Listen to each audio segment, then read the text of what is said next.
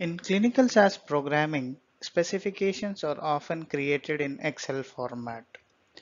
And we regularly open these specifications to refer them while programming. By default, when an Excel file is opened, it opens in edit mode. Until the file is closed by the user who has it open in edit mode, no other user will be able to make changes to the file. So if we need to open an Excel file just to refer it, it is better if we can open it in read-only mode.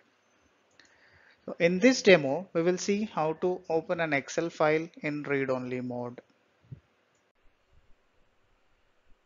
In a previous video, we have seen how to pin an Excel application to the taskbar. So I am launching the Excel application by using the pinned icon from taskbar. Now come back to the File Explorer and then navigate to the location where the specification file or the Excel file is present. Copy the file path, come back to the Excel file,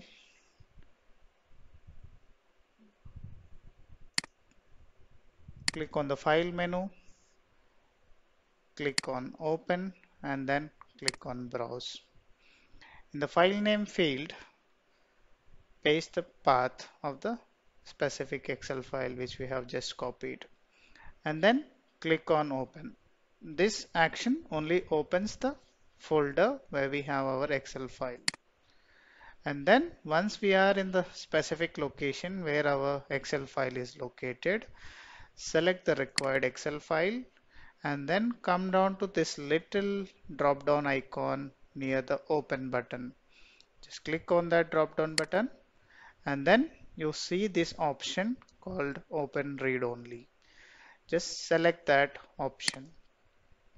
So now if you notice on the top of the Excel ribbon so you see that the specification file is opened in read only mode. So this is how we can open a specific Excel file in read only mode